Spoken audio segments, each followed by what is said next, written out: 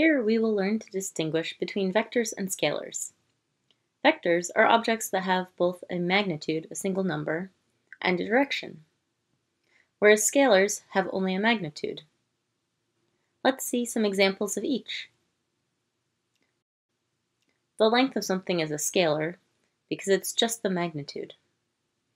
A force exerted by someone pulling something is a vector because we care about the strength of the force, the magnitude, and the direction in which the force is acting. Temperature? It's a scalar.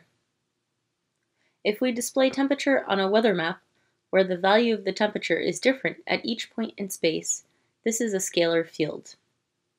In comparison, this weather map of wind, where the value of the wind velocity at each point in space is represented by a vector, is a vector field.